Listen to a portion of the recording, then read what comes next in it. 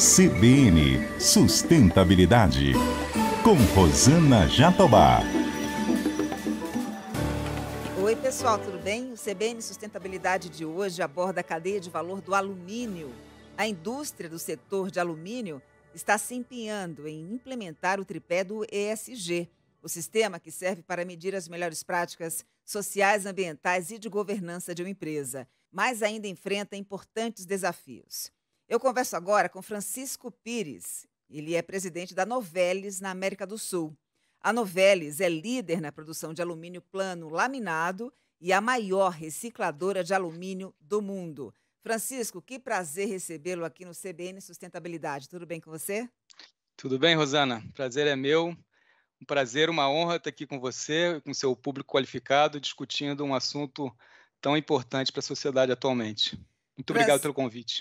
Prazer é o nosso. Francisco, eu já quero começar nosso bate-papo te perguntando como a gente pode tornar a cadeia do alumínio mais sustentável, porque a gente sabe que o alumínio é um material de extrema importância para a economia mundial, largamente utilizado, mas a produção dele ainda inspira cuidados, porque você tem a mineração da bauxita e a atividade por si só, ela é eletrointensiva, depende muito de energia. No caso da Novelis, que opção vocês fizeram para tornar essa produção mais sustentável? Obrigado pela pergunta, Rosana. Eu acho que é importante contextualizar um pouquinho. A Novelis ela nasceu em 2005, é uma empresa relativamente jovem. Ela nasceu da cisão da, da Alcan. Na época, a Alcan foi separada em duas empresas. Uma empresa ficou focada na produção de alumínio primário, ou seja, na extração da bauxita, e na produção do alumínio primário. E uma segunda empresa que veio a ser a Novelis, ela ficou explorando e, e focada no que a gente chama de downstream, que seria a parte para frente da cadeia. Então, é, desde a nossa, nosso, nossa origem, o nosso DNA sempre foi de não é, produzir alumínio a partir de um alumínio é, primário, não produzir alumínio a partir da bauxita, mas sim produzir o alumínio a partir da reciclagem. Né? A gente nasceu ainda em 2005 com um conteúdo reciclado dos nossos produtos relativamente baixo. Até antes de 2010, a gente tinha menos de 50% do nosso, dos nossos produtos com conteúdo reciclado. Hoje a gente já evoluiu bastante, estamos com 72,5% dos nossos produtos têm conteúdo reciclado, tem alumínio é, reciclado dentro deles. E a gente agora está é, exatamente indo para desafios ainda maiores, né? querendo aumentar ainda mais, mais esse conteúdo reciclado. Lembrando que cada um quilo de alumínio reciclado representa é, 5 quilos de bauxita que deixam de ser extraídos. Então, a gente costuma se referir aqui a, a, ao nosso processo como um processo de mineração urbana. Na verdade, a gente extrai o alumínio, as latinhas, seja qual o alumínio que já foi consumido, para trazer ele de volta para o nosso processo. O alumínio tem essa característica de não perder é, propriedade mecânica, propriedade é, intrínseca ao material quando ele é reciclado, e ele consome só 5% da energia que ele consumiria se ele tivesse sido extraído da, da bauxita virgem. Então a gente nasceu é, nesse, nesse, nesse processo de cada vez mais investir em, em processos e equipamentos, em tecnologia para reciclar o alumínio e também para estar próximo de onde o alumínio é gerado nas cidades. Agora, Francisco, essa escolha de vocês trabalharem a partir do alumínio reciclado e não a partir do alumínio primário representa uma vantagem competitiva para a empresa? Em termos de posicionamento, eu entendo que sim, Rosana, porque é, a, gente, a gente conseguiu ter essa visão que o futuro ele seria é, focado em economia circular. Então, a partir do momento que a Novelis ela se posiciona como uma empresa que faz a reciclagem do alumínio, né? Hoje, só para você ter uma referência, a gente recicla mais de 70 bilhões de latas por ano no mundo. Aqui no Brasil, a gente recicla cerca de 25 bilhões de latas, sendo 19 bilhões do que a gente é, que a gente capta no Brasil, mais 5 mil, bilhões que a gente importa, a partir do momento que a gente eh, se posicionou, né, logo, no, logo na origem da empresa, a gente, eh, eu entendo que a gente tem um alumínio com a menor pegada de carbono e que cada vez mais é, é, o que é solicitado pelos nossos clientes e pelos clientes dos nossos clientes e até chegar no consumidor final. Então, a vantagem competitiva que, que, eu, que eu vejo, ela tem mais a ver com uh, o posicionamento de mercado e, e, e, e, como que o nosso, o nosso produto performa junto aos nossos clientes, do que propriamente dito uma, uma, um benefício, por exemplo, que seria de custo. Agora, é possível a indústria do alumínio como um todo, que está altamente inserida em grandes cadeias globais, continuar, né, fazer essa transição, descartar a exploração, né, descartar o alumínio primário e só trabalhar com alumínio reciclado? Tem volume para isso? É, é um equilíbrio é, interessante. Hoje a gente tem uma referência que 70% do alumínio que já foi produzido a partir de, de, de, de é, bauxita, ele ainda circula no mundo. 70% de todo o alumínio que já foi produzido ele ainda circula. Isso significa que ainda existe um percentual de é, alumínio que, é, que necessita ser produzido a partir da, da, da, da bauxita e da, do, do, minério. O nosso entendimento é que com novas tecnologias é, e com a, a, capacidade de captar mais conteúdo é, de, de, reciclado no mercado, em, Existem países, como por exemplo os Estados Unidos, que o índice de reciclagem é só de 40%, 45%. Ou seja, a gente tem muito a evoluir ainda para trazer mais desse material de volta. Aqui no Brasil a gente já tem, já trabalha com índices acima de 97%, ou seja, estamos bem avançados, mas ainda tem muito alumínio que pode ser é, inserido de volta no processo de reciclagem. É, se, se, o, se, o, se o mercado está crescendo, vai precisar certamente de um percentual mais baixo né, de alumínio virgem, que pode ser é, produzido a partir de manejo sustentável, através de uma utilização de uma energia limpa. Né? A gente entende que o equilíbrio vai acontecer, mas com o percentual de reciclagem aumentando. Posto isso, me parece que você é um otimista no sentido do futuro do alumínio da indústria ser todo baseado no alumínio reciclado e não mais o primário, porque este primário, infelizmente, ainda provoca graves danos ambientais. Estou certa? Eu acho que tem, é, tem, alumínio, tem, alumínio primário, é difícil colocar numa caixinha só. Né? Existem. É, e aí eu defendendo um pouquinho, a, a, um pouco mais a indústria nacional. Né? A gente tem processos e empresas muito sérias aqui no, no Brasil que é, fazem o manejo responsável né, e utilizam energia, é, energia renovável. Né? A gente tem grandes empresas que, que, que, que, trabalham com alumínio primário de forma responsável. Existem empresas, muitas empresas espalhadas no mundo, que é, ainda utilizam processos mais antigos né, e utilizam fontes não renováveis. Existem é, alguns casos é, de, de, de, utilização de carvão, que eu entendo que vão evoluir. Né? Mas é, é, difícil colocar todo o alumínio primário numa caixinha. Existe alumínio primário que tem emissão de carbono, por exemplo, de 15 toneladas de CO2 por tonelada de, de, de alumínio, existe produção primária que está abaixo de 4, de 3 toneladas, 3 toneladas por tonelada de alumínio produzido. Então, existe uma, uma, varia, uma variação grande. É, do nosso lado, o nosso objetivo é realmente ir para 100% de, de produto reciclado nos nossos produtos. A gente recentemente a gente assumiu um compromisso de ser neutro em carbono em 2050 e a gente assumiu um compromisso adicional de reduzir e de aumentar em 30 em 3, é, desculpa, de aumentar e de reduzir 30% do, do, da emissão de carbono até 2026 a gente tinha definido uma meta até 2050 e resolvemos colocar uma meta intermediária, porque 2050 está muito longe. Uhum. Né? Então, é, para reduzir 30% nas emissões de carbono no nosso processo, e aí a gente está falando de escopo 3, né, é, é dentro da, das emissões, ou seja, incluindo a emissão dos fornecedores, a gente vai precisar levar o nosso conteúdo reciclado hoje de 72,5 para 82,5. Uhum. Ou seja, temos um trabalho bem, bem grande nos próximos cinco anos. Nessa questão da emissão de carbono, foi bom você ter citado o número da Novelis, porque eu tenho informações aqui de que a indústria do alumínio participou com 13% do total de emissão de gases do efeito estufa.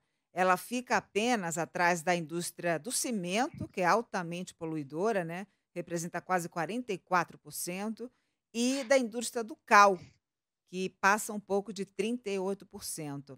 Agora, com relação à indústria do alumínio, e especificamente aí do alumínio produzido a partir do reciclado, onde é que pega essa questão da emissão, hein, Francisco? É, o, o, alumínio reciclado, ele, ele, ele precisa só de 5% da energia é, necessária para produzir o alumínio a partir da, da fonte virgem. Então, ele, ele tem uma pegada de carbono, por definição, já muito mais baixa. Né? Ele reduz em 95% é, numa tacada só. Por isso que grande parte do, do nosso foco para reduzir pegada de carbono é aumentar conteúdo reciclado. Obviamente, é, existe também a necessidade de comprar alumínio de fontes, o, o, percentual que sobrar de alumínio primário, comprar de fontes é, responsáveis, né, que a gente consiga rastrear a cadeia. É, a gente tomou a, a decisão de é, medir a nossa pegada de carbono olhando o que eu chamei de escopo 3, quer dizer, escopo 1 é o que está dentro da nossa fábrica, escopo 2 amplia também para é, o fornecimento de energia elétrica e térmica, e o escopo 3 inclui também a, a nossa cadeia de fornecedores e clientes. Então, quando a gente definiu que a gente quer reduzir 30% até 2026 e ser neutro até 2050, a gente tomou a decisão de incluir os nossos fornecedores. Né? É, dentro desses 5% que sobraram de energia que a gente ainda precisa consumir, a gente tem um trabalho grande de reduzir o consumo energético. Hum. Esse é um, esse é um foco muito grande. A gente reduziu é, nos últimos 10 anos em 25% a intensidade de energia, e até 2026 a gente vai reduzir mais 10%. Então, basicamente, a gente tem que usar alumínio reciclado, a gente tem que usar energia melhor, né, de uma forma mais, mais eficiente através de tecnologia, e a gente tem que comprar é, é, é, energia de fontes renováveis. Né? A gente tem que comprar energias é, é, é, térmicas, eólicas hidráulicas para ter realmente essa matriz energética mais, mais, mais verde. Achei interessante você trazer para a gente essa diferenciação entre escopo 1, escopo 2 e escopo 3, porque isso de fato demonstra a preocupação com toda a cadeia de valor. Sustentabilidade é exatamente isso. Não adianta você apenas focar numa determinada etapa da produção, descartar as outras, porque sustentabilidade requer que todo mundo esteja ali alinhado nessas políticas socioambientais responsáveis, não é isso? Sem dúvida. E a nossa, a nossa, como a gente nasceu com esse DNA da reciclagem, a gente trabalha muito com, é, com recicladores no Brasil inteiro. Né? A gente estabeleceu uma, uma fonte é, junto com, com parceiros né, de centros de coleta no Brasil inteiro para se aproximar das cooperativas e das empresas que, que coletam alumínio. Então, hoje a gente está com 13 é, centros de coleta espalhados e a gente tem mais 22 com, através de um parceiro ou seja, são é, 35 é, centros de coleta espalhados no Brasil, e com isso a gente consegue é, se aproximar e, e, e, apoiar essas cooperativas, essas empresas. A gente trabalha muito em, em, em mecanismo de gestão, a gente apoia eles em, em sistemas de gestão, em EPIs, né, em sistemas de segurança da operação, porque a gente sabe que é uma cadeia importante para o Brasil. São cerca de 800 mil famílias que trabalham a partir da, da, reciclagem. E se a gente não olhar a cadeia, tanto no lado ambiental, mas também no lado social, o nosso negócio não é sustentável. Né? Então, a gente teve um caso muito emblemático na pandemia. Na pandemia, é, naturalmente, alguns negócios fecharam como o nosso alumínio ele acaba indo para embalagem de alimentos, embalagem de bebidas, farmacêutico, é, indústria de higiene e beleza, ele foi considerado é, é, esse setor essencial. Uhum. E a gente fez questão de estender todo esse, esse, esse status de essencial para a cadeia, cadeia inteira, inclusive para os catadores. Qual foi o nosso raciocínio? Se a gente não, não tiver a cadeia toda funcionando, a gente vai gerar problemas sociais, né? E, e, e, só que o alumínio muitas vezes, a, a latinha muitas vezes ela é, ela vai para indústrias que pararam durante a pandemia. Por exemplo, a indústria automotiva reduziu muito. Então, qual foi a nossa sacada naquele momento? A gente falou, a gente precisa continuar garantindo compra. Essas, essas, essa, quem coletar precisa estar tá apto a, a, vender. e a gente identificou que existem algumas, eh, existiam algumas regiões da Novelis no mundo que estavam com falta de, de, de sucata. Então a gente fez um trabalho muito grande de, de juntar esses dois elos, juntar as cooperativas aqui no Brasil, é, é, colocar, é, a gente trabalha em limpeza e, e, e paletização desse, desse, dessa, dessa, desse alumínio, dessa sucata, e a partir dali a gente exportou para novelas do, dos Estados Unidos e da novelas da Coreia. Muito então, interessante, então, vocês é conseguiriam unir duas pontas, uma que precisava vender e outra que precisava comprar, né? É, foi, foi, foi muito interessante, porque a gente estava nas nossas reuniões globais vendo que o setor de, de, de sucata em muitas regiões parou. Uhum. A gente estava falando, gente, aqui a gente conseguiu é, fazer com que ele continuasse. Vamos. E, e, se a gente continuasse comprando e não tivesse é, a demanda necessária, a gente ia ficar com um estoque muito alto. Então, foi uma, uma, uma, uma sacada de, de, de conectar essa, esse nosso footprint global, né, de ter fábricas em diversos locais, com a necessidade premente que a gente tinha aqui no Brasil. Tá aí, Francisco, um bom exemplo de boa governança. né? Obrigado. Não, sem dúvida, sem dúvida. E, e, a gente tem que ter essa essa proximidade é, da nossa da nossa área de reciclagem com as outras regiões do mundo. Está tudo conectado. A gente prefere é, consumir a, sucata que está no Brasil, uhum. até porque você evita ter que é, fazer transporte é, marítimo que emite, emite é, gases também, tem que ser computado. Mas em situações de exceção a gente precisa ser criativo, né, Rosana? Pois é, e resiliente, né, Francisco? Acho que essa palavra veio para mostrar para a gente que, a despeito de todas as dificuldades, tudo passa, precisa ter criatividade, jogo de cintura e rapidez. Aliás, a pandemia acelerou muitos processos. O que estava em andamento na Novelis que foi acelerado em razão da pandemia do coronavírus? Bom, é, eu acho que um assunto de, de, de, de trabalho em casa, né? Eu estou trabalhando em casa, não tem como é, fugir da, da, da, da, conversa quando se fala da, da pandemia do que foi acelerado, né? A gente é, entendeu rapidamente que a gente consegue entregar resultados de alta performance com parte do nosso, do, do nosso contingente trabalhando de casa. Então isso funcionou muito bem. A gente na primeira semana a gente tinha muito receio, tinha que fazer um fechamento. Logo na primeira semana que a gente teve, trabalhou em home office, ficamos muito preocupados, mas identificamos que é possível. Né? A gente é, ainda está com o escritório fechado, administrativo. A gente resolveu, enquanto tivesse uma, um percentual é, importante da população vacinada, que a gente não ia abrir ainda o nosso escritório. A gente vai a partir do momento que a gente abrir, a gente já vai trabalhar no modelo híbrido. Né? É, as, as, pessoas vão trabalhar pelo menos duas vezes por semana de casa e a gente já vai para um escritório menor do que o que a gente já tinha. Né? A gente já definiu que o escritório não vai ser suficiente para caber todo mundo e que, vão, e que a gente vai trabalhar em, em, sistema de rodízio. Por que não adotar 100% do, do modelo é, do modelo remoto? Né? A gente discutiu bastante isso. A nossa percepção é que ah, o que a gente acredita é que a cultura da empresa muitas vezes ela ela acaba acontecendo é, quando as pessoas estão em contato, em reuniões face a face, muito a ver com a nossa cultura é, é, latina uhum. e também como a forma da gente garantir que as pessoas que trabalham na empresa entendam a cultura da empresa. A gente teve tanto trabalho em desenvolver a cultura, em garantir que as crenças culturais estavam bem entendidas, Agora a gente está incluindo mais um, um, um, um, tópico bem importante de cultura, que é, que, é a, que é a inclusão. Então, não tem como a gente, é, no nosso entendimento, né, é, trabalhar num modelo 100% remoto e, e não afetar a cultura. Vamos lá, então, abordar melhor aí o pilar social da empresa. Que atividades, que ações vocês vêm desenvolvendo para contemplar a questão social do sistema ESG?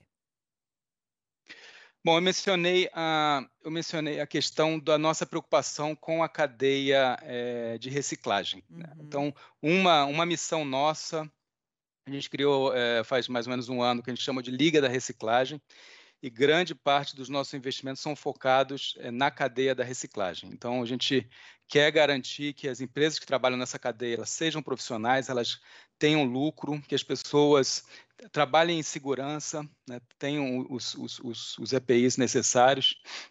Então, esse lado de, de profissionalizar a, a reciclagem ele é muito importante.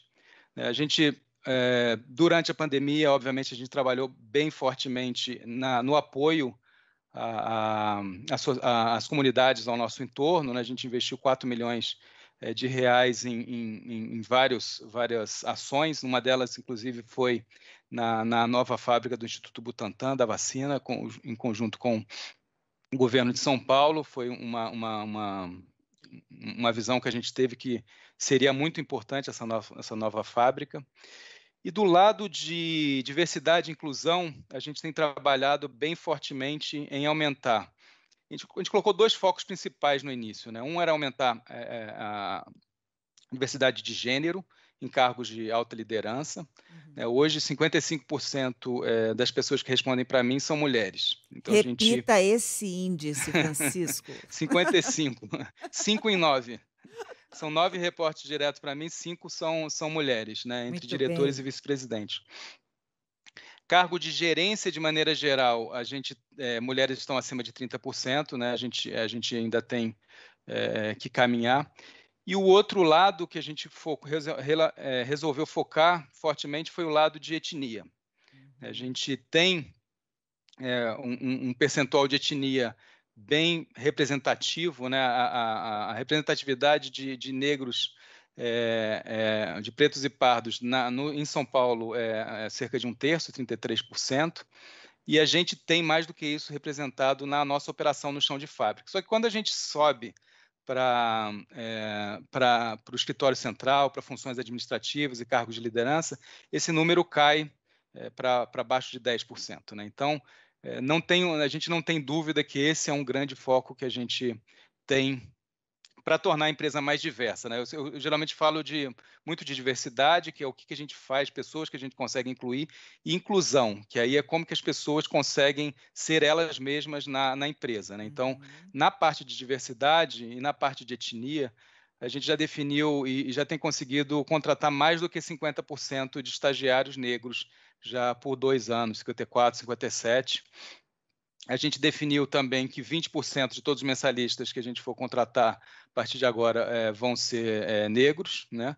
E, e, e, estamos com uma, uma, um, um, apoio, uma assessoria é, de uma empresa especializada para ver o que, que, a gente pode fazer mais. Né? A gente está uhum. muito focado em, em, recrutamento de empresas especializadas que, nessa, nessa, parte de, de etnia, mas a gente entende que tem muito a ser feito. Né? estamos no início de uma trajetória aí, uma caminhada longa. Feliz por ouvir esses dados que você acaba de me passar, mas eu quero te ouvir a respeito dos conselhos de administração. Porque lá no topo, muitas empresas carecem mesmo de maior representatividade feminina. Como é que está a questão da Novelis? Quantas mulheres vocês têm no conselho? Então, a gente, como a gente não é uma empresa de capital aberto, a gente não tem um conselho. É, é a Novelis ela é parte da, de, um, de um grupo indiano, né, o grupo uhum. Aditya Birla, e a gente fica embaixo de uma, de uma empresa chamada Endalco, outra empresa de alumínio. Uhum.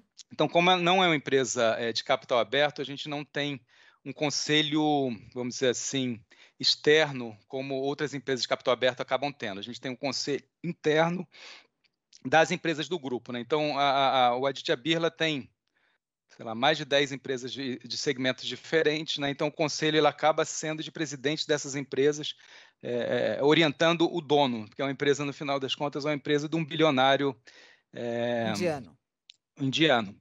Então, nesse, nesse quesito, a gente é, é, não tem essa, essa governança. Por outro lado, a gente tem uma governança importante que a gente tem desenvolvido é, em, é, em, em, DNI, né? inclusão, e inclusão e diversidade. Eu faço parte do, do, do Conselho Global de DNI. É, ele é um conselho que, que traz pessoas, né, especialistas, a cada quadrimestre para fazer benchmarks né, e para mostrar o caminho a, a ser trilhado né, dentro do, do, da nossa jornada de DNI. É, mas é, é, bem focado em assuntos específicos que a gente precisa resolver. Né? Então, esse é um que a gente colocou bastante foco. Muito bem. E no trabalho com as comunidades do entorno, como é que vocês lidam? Isso é muito importante também, né? Porque é o que a gente observa fora dos muros da empresa? Sem dúvida. Bom, a gente tem, é, a gente tem feito já há, bastante, um número grande de anos, é, a nossa, os nossos dias de voluntariado globais, né, que acontecem e que a gente vai e, e apoia entidades próximas da onde a gente, é, da onde a gente atua, né, com, com, com, com entidades é, que precisam realmente do nosso apoio. É, e acontece, é interessante que acontece no mesmo dia em vários lugares do mundo, né? na Coreia, na Suíça, nos Estados Unidos, na Índia, no Brasil já virou uma, uma, um momento importante dentro da, do nosso calendário é, global. A gente tem diálogos com a comunidade também, né, dentro da a gente nossa principal fábrica fica em Pindamonhangaba, a gente tem diálogos com a comunidade, a gente apoia é, vários dos projetos importantes para a comunidade. Agora mesmo na na, na, pandemia, a gente esteve muito próximo da Secretaria de Saúde de, Saúde de Pinda, né, é, é, fornecendo eh, ventiladores mecânicos, fornecendo é, é, kits de testagem. Né? Então, a gente tem uma proximidade muito grande. Agora, tem um programa muito legal que a gente desenvolveu recentemente, que foi o programa Capacitar, né? Uhum. junto da, da comunidade. como a gente tem esse, essa ambição de crescer mulheres nas nossas operações, né? É, e, aliás, um, um, um, primeiro passo foi, foi, foi ter a nossa primeira vice-presidente de operações mulher. A gente definiu, é, junto com, com o Senai, cursos de treinamento focados em desenvolvimento da região, e principalmente de mulheres da região.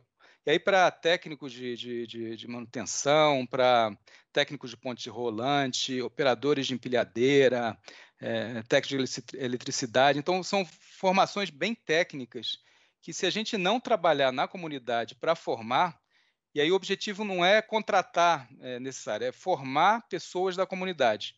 Consequência disso é que a gente consegue contratar mais, né? Então temos uma expansão agora é, da fábrica que vai ficar, vai, vai sair a primeira, os primeiros produtos agora em junho, se tudo, tudo der certo, e a gente já está contratando é, mulheres para a operação que estão vindo desse programa, né? Então essa, essa, essa união entre como que a gente pode ajudar a comunidade, ao mesmo tempo que a gente, eh, a gente garante é, uma aceleração da nossa inclusão de gênero nas operações, foi, foi realmente, acho que um, um, um projeto muito legal.